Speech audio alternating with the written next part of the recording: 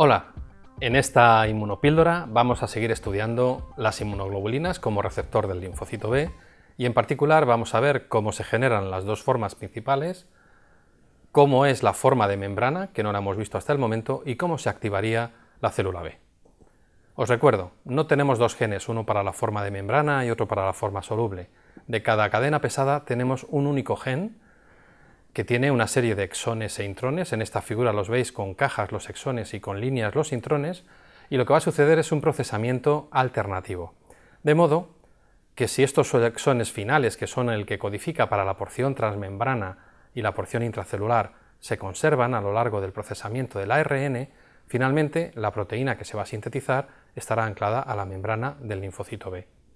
Pero de modo alternativo, se puede procesar de modo que el exón que codifica para la porción secretada se, permanezca en el procesamiento, pero se pierdan los exones que codifican para la porción transmembrana y la porción intracelular. En esa situación se sintetizaría y secretaría al medio una proteína, una inmunoglobulina soluble. Pero vamos a la forma de membrana, que es la que no conocemos. Aquí tenéis la forma de membrana, con sus cadenas pesadas en rojo, sus cadenas ligeras en negro, y con los dominios tipo inmunoglobulina con este plegamiento unido por un enlace disulfuro. Os recuerdo que hay enlaces disulfuro también entre las dos cadenas pesadas y entre cada pareja pesada ligera.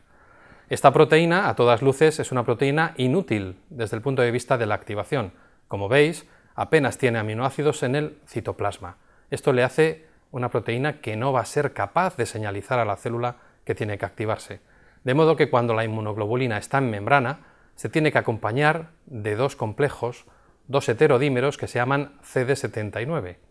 Como veis, cada CD79 consta de dos cadenas que son de la familia de las inmunoglobulinas, tienen el mismo plegamiento y están unidos entre sí por un puente disulfuro, este heterodímero, pero además la importancia es que tienen una larga cola citoplásmica. En esta cola citoplásmica hay unas cajas dibujadas, como veis, que se llaman ITAM, que significa ITAM. Esto viene del inglés, pero son Immunotyrosin Activation Motifs, motivos de activación de inmunotirosinas. Y si nos vamos a la secuencia a ver el detalle de estos ITAMs, pues veréis que tienen una tirosina en algún punto de la secuencia intracelular, que la tenemos aquí en esta caja azul, previo a esa tirosina hay cualquier aminoácido y en la posición anterior tiene que haber o bien una valina o bien una isoleucina, lo tenemos en esta caja rosa. Y posterior a la tirosina hay dos aminoácidos cualesquiera y a continuación siempre una leucina. Por lo tanto, para que un motivo sea fosforilable y activable de la proteína, no vale cualquier tirosina en cualquier posición, insisto, tiene que ser este motivo que se denomina ITAM, inmunotirosinas activables. Bien, el receptor reconocería el antígeno. Es como si yo tuviera los brazos de frente. ¿Cómo se enteraría CD79 de que tiene que activar la célula? Pues porque al reconocer el antígeno haría un cambio conformacional y ese cambio sería detectado por las proteínas adyacentes. Aquí tenemos un recordatorio de cómo es la estructura del receptor con las proteínas de activación y deciros que además el linfocito B tiene un correceptor, que lo integran tres proteínas no asociadas, CD19, CD21 y CD81. Este correceptor va a darle al linfocito B una segunda señal de activación, aunque no es la única situación en la que un linfocito B se puede activar, se activaría por interacción con proteínas de complemento a través de CD21. ¿Cómo sucedería la activación de linfocitos B? Pues tiene que haber una primera interacción del receptor de la célula B con el antígeno, esto da la primera señal, y una segunda señal, bien recibida a través del correceptor complemento o bien recibida desde un linfocito T cooperador mediante citocinas solubles. Vamos a ver en detalle el proceso, cómo se va a producir este reconocimiento de un receptor de la célula B y el antígeno. Tanto María como yo vamos a ser PCRs, y un BCR tiene, como os he dicho, dos puntos de reconocimiento del antígeno. Un antígeno, como el que está mostrando María, tiene distintos puntos de unión del receptor. Es un patógeno con múltiples sitios antigénicos. Pero este reconocimiento que está haciendo ella es un BCR con el antígeno, no da una señal completa. Para que la señal sea completa tiene que haber al menos dos BCRs implicados, En ese caso, estaríamos reconociendo el antígeno, yo soy un BCR y mi brazo une el patógeno, une el brazo de María, que es el otro BCR, se produce este puente físico. Esto se denomina entrecruzamiento de receptores y es la primera señal necesaria para que se active el linfocito B. La segunda señal se recibiría por una citocina y esto iniciaría un proceso de fosfo de fosfo, es decir, grupos fosfatos que se añaden y se quitan de las proteínas. Esta este activación fosfo de fosfo concluiría con la activación de la fosfolipasa C.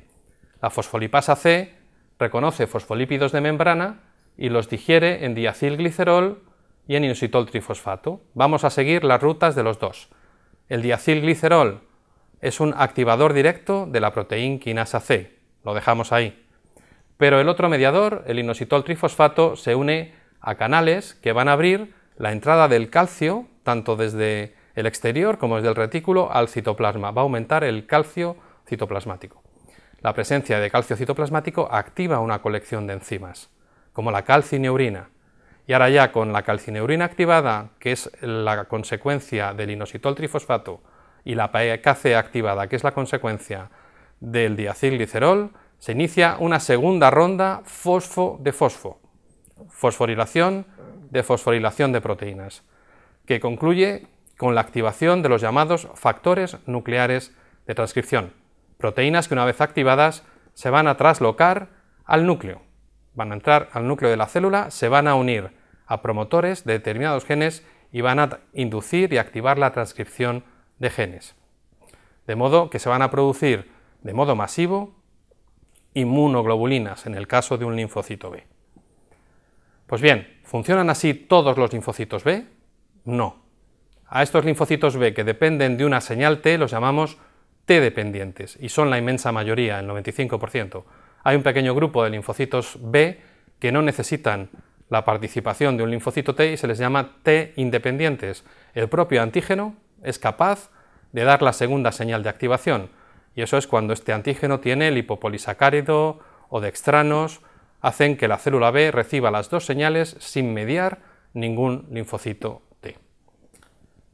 En resumen, en esta inmunopíldora hemos visto las formas de presentación de inmunoglobulinas en la naturaleza, cuál es la estructura de la forma expresada en membrana de la inmunoglobulina o BCR, qué proteínas señalizadoras acompañan a la inmunoglobulina en este BCR, a qué llamamos complejo correceptor y una vez conocidos todos los receptores, cómo se produce la actuación y transducción de señales del linfocito B.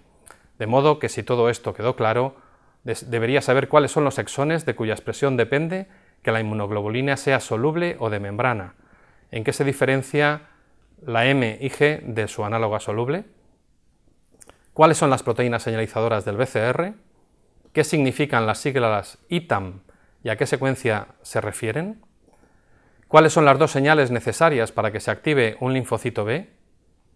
¿Y cuáles son los pasos elementales en la transducción de señales del linfocito B y sus consecuencias finales? Mi consejo es como siempre, hasta que no contestes todo lo anterior, no pases a la siguiente píldora. Hasta pronto.